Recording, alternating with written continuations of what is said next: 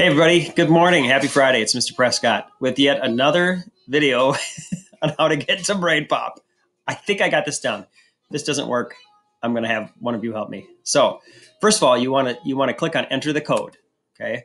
I shared on the Google Classroom page the code for your band. So in this case, for seventh grade band, it's Visor 8032. So I just pasted that in there and then I submit the code. Now, what a lot of you are doing and apparently you can't do is don't use this. You are going to have to say, um, sign up now. Okay.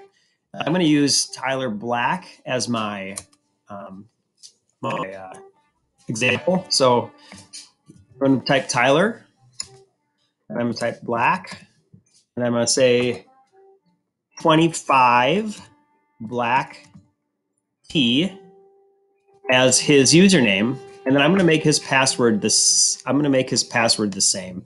25 black T. okay, and then I'm to retype that password. 25 black T. Please don't log as log in as Tyler and do all his quizzes for him. And then I'm to choose a security question, and I'm going to say, "What is your favorite subject?" And the answer, of course, is band. B A N D. Okay, and his security image is going to be um, Abe Lincoln because he's a very honest person, Abe, and so is Tyler. Okay.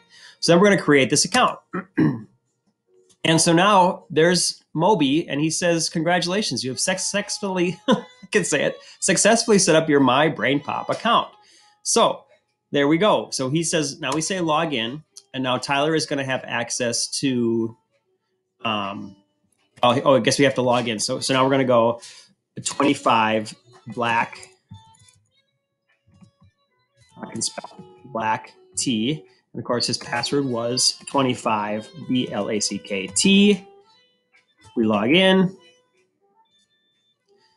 Moby says, Hi there. And then we click on Tyler's notifications. It says, Hi, Tyler. And he has musical scales assignment, woodwinds assignment, and they're right here for him to do. Yay, Mr. Prescott, you did it. Thanks, Tyler, for helping me out. All right. So there you go, people. Have a great Friday.